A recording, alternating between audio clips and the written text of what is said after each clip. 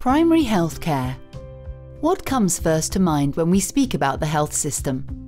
A family doctor? A hospital? We often associate health to treatments received at primary healthcare centres or hospitals. We medicalise health and bring it down to merely treating the illness. To be in good health means many things. It implies a proper fitting of all the pieces involved in well-being so as to face the needs of any given population at any time. A strategy has to back up every health system since its management and its efficiency depends on the policies of each individual country. Does the perfect health system exist? We shall compare the health systems of three countries, Spain, the USA and Mozambique to ascertain the cost effect of each. Spain, based on the primary healthcare model. In the 80s, Spain put forward a health system based on a primary healthcare model with a free universal cover, as well as on a joint prevention strategy, including cures and rehabilitation.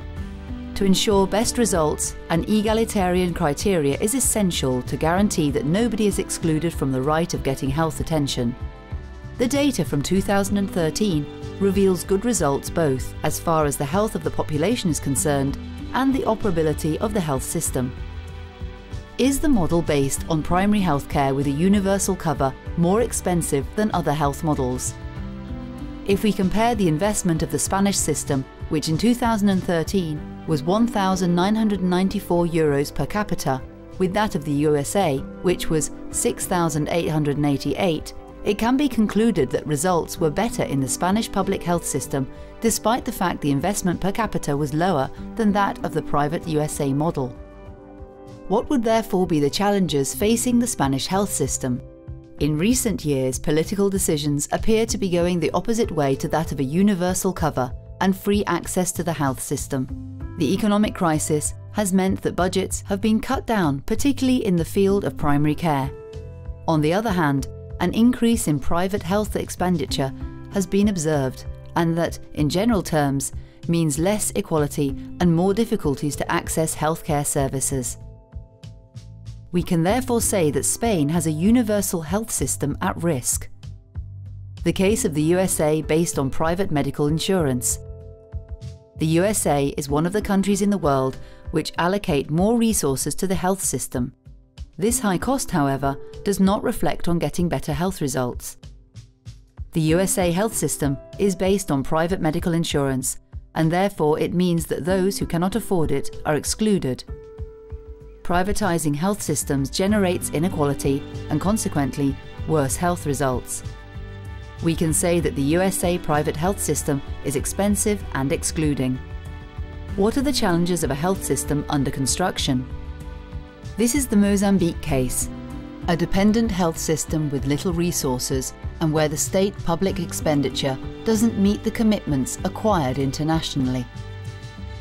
After the declaration of independence, Mozambique went through a civil war which lasted 16 years and destroyed what little infrastructure there was in terms of healthcare. In the 90s, the country received external help to build more infrastructures, but that also left some sequels. External aid dependence hinders the creation of a health system with stable resources. Also, priority dispersion, that is, when the plans designed by the Health Ministry give preference to strategies based on primary healthcare that do not always coincide with those of the donors, thus jeopardizing a joint, effective strategy. From the above three examples, we can ascertain that certain elements can either hinder or guarantee the existence of an effective health system. It is not easy to obtain good health related results if the system doesn't give priority to universal health access either because of lack of public investment of a private health system and therefore not all embracing, or with the excessive dependence on external help, with lack of jointly structured health strategies, or at risk of losing acquired rights due to the change of direction in public policy.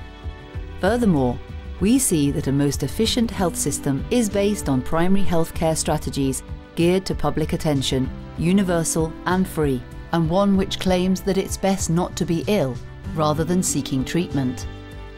To this extent, a model is to be created to impact on all social health determinants in order to be more effective. a cross-sectional organisation healthcare model capable of putting together all the pieces according to the needs of each population. A model that understands that health is an essential basic human right that should cover everybody's needs on an egalitarian basis through a democratic public system. To mitigate inequality in health, we need a powerful primary healthcare system, more so now than ever.